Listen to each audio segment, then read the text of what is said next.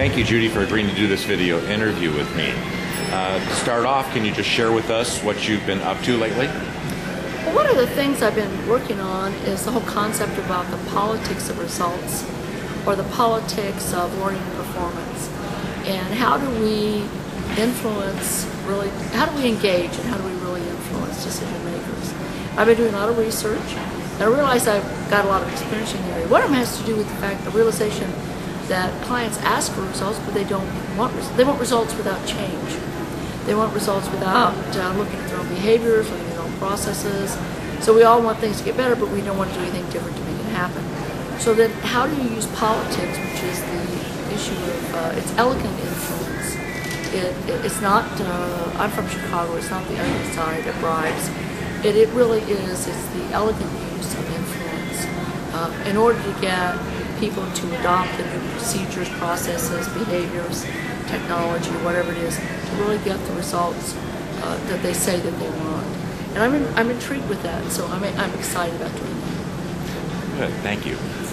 Are there any uh, articles or books that you've recently published or and or new things that you're working on that you can share with us? Well, one of the new things that I'm, uh, I, I, first of all, I'm not working on a book right now. I am toying with the possibility of writing a book of what do you, this is the working title, what do you do with uh, bosses that are incompetent, disinterested, uh, or corrupt and untouchable? What are success stories? Because over the years, people have told me elegant things that they have done to be successful under horrific conditions. And when, so it's not enough to identify. It's like, what do you do? And so I've been collecting this little thing, but I'm not ready to work quite work on that. So what I'm working on right now is developing uh, materials for our chapters. I'm putting together a whole series of 60, 90 minute programs. So they're meant to be designed, uh, be delivered electronically or live in person. That really talks about what we do, what distinguishes us. I've got the elevator speech one done. That's being well received. I'm now working on strategic storytelling. I'll start next is a RSVP, one for RSVP. And then I'll do one on selected pieces of the systematic process. So that's really exciting. So that's, I'm really, what I'm working on now is materials products that our chapters can use to service members and attract members. Thank you. I understand that uh, you joined the society in 1979, um, and I'm sure you've met many people, many people over the years here at the society that uh, have had major influence on you. So, could you tell us about your entree into the society and any memories? Excuse me. Any memories or stories that you have about uh, individuals that have been uh, that has a significant, significant impact on you? Well, I actually found out about ISPI through the Chicago chapter. And when I first met people in chapter, the first meeting I went to was Susan Markle and Sally Droege. Uh, both unfortunately are no longer with us, but uh, they. So anyway, that was my first meeting. Then I kept going back, and I met a lot of people at that time was known as Illinois Bell, uh, the Rubleys, and a number of other people. That introduced me to, uh, in that one of those I met Fred Wells, who was the current president. He came, uh, and I also was able to meet his wife, Char. Uh, so that kind of unfolded. So in 79, I, I, went to chapters, I heard about the international, I submitted a proposal, it was accepted. So suddenly I was presenting, and, and I've been doing it ever since. Uh, and, and, that, and it was also in 79 that I was introduced to the International Board of Standards for Training, Performance, and Instruction called IBSTPI. And with them, I got to work closely with Fred Char Wells. I got to work closely with Rob Roche and Ken Silber, Maury Coleman, uh, uh, Sharon Shrock, Bill Coscarelli, uh, Jim Russell. I met with a number of those people. And it was that work on standards is formed truly a lifelong bond. And that they also have to be very active in ISPI, so that's just carried forward. And they, they've been tremendous, uh, they've been very generous, very generous with their guidance and information and helping me in my career, and I value that immensely. Do you have any favorite stories from the past that uh, you can share here? Uh, anything that would cause great insight or a lesson learned or just a fun fact about uh, some of our luminaries? Well, let me share you a fun fact, and this has to do with Tom Gilbert. When I first met Tom Gilbert, uh, the gentleman was a diabetic. And uh, in Chicago, we had a soda company uh, making Canfield's Diet Cherry, uh, Diet Chocolate Cherry soda pop. And I introduced him to Diet Chocolate Cherry soda pop. So for the next couple years, I kept bringing six packs of Diet Chocolate Cherry soda pop because he kept saying, it's an elixir, it's wonderful. So, I mean, that doesn't diminish his other contributions, but that's kind of a fun fact there or something. I also had the opportunity to go to Joe Harless's home, and a beautiful home.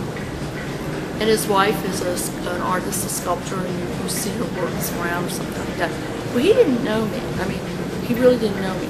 So before he would allow himself to be interviewed, he had to give me an instruction.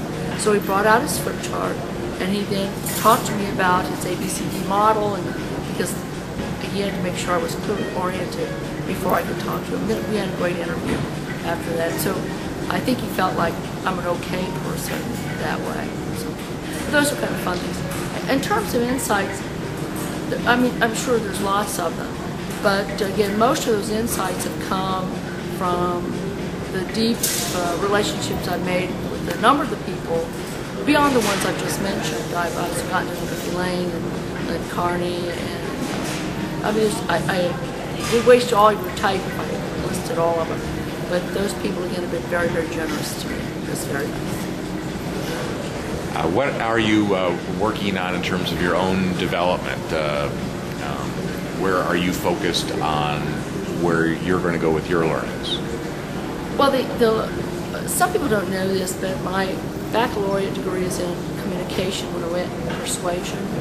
My master's is actually also in communication with my major in theater management, my minor in oral interpretation of literature.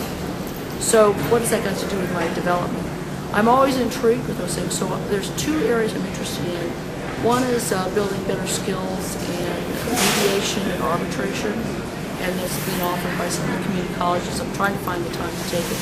The other one is how to work with bullies. Uh, how, how, what are the communication ways of getting back? And I've learned that there are seven types of bullies. Now I'm curious. I want to know how you recognize one type versus the other. And then what do you do? And apparently there are some guidelines. Type A, you do this. Type B, you do that.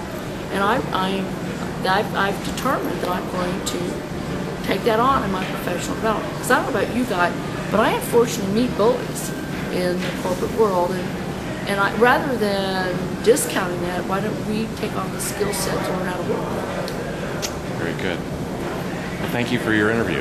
Uh, is there anything that you could share with us about uh, uh, volunteering for uh, to encourage others to volunteer in society and what some of the, the things that they might experience uh, through their volunteering?